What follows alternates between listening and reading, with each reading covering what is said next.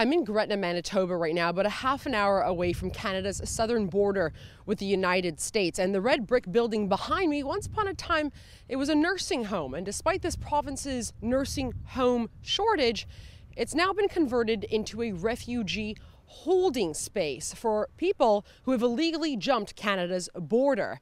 This is now my second time visiting here. The first time we were told we weren't allowed in because we were media. I'm sorry, who did you say you were with Uh. Rebel Media in Toronto. if you're media, then you have to leave the building and call the number on the front of the door. We can't give you a tour. no? No. Okay. Uh, uh, after, if can we arrange a tour though? There will be no tours as long as we have residents inside.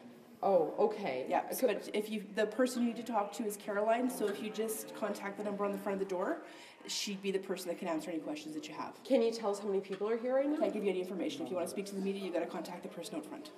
Okay. Directly, yeah, media Yeah. not allowed inside. Yeah, media's Okay. not allowed inside. So I followed up. I reached out to the number provided for media contact.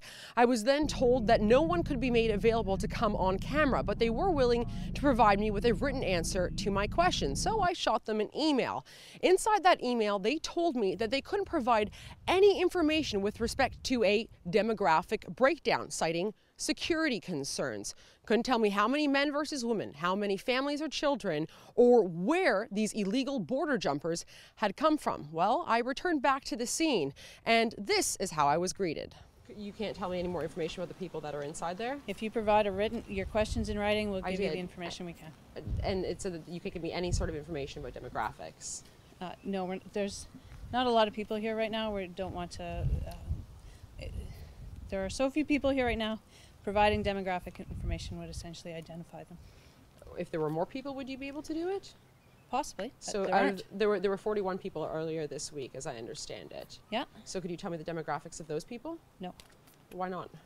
Uh, if you've got questions, send them in writing. I, I did, but I'm not satisfied, and I'd like to have someone on camera. Well, and we're not going on camera. I'm not breaking the Elections Financing Act. So thank you. Now, despite the fact that officials are trying to obfuscate what's happening behind these walls, here's what we do know. This refugee center has been open for about two weeks, and already as early as this week, they had 41 residents, read illegal migrants, inside.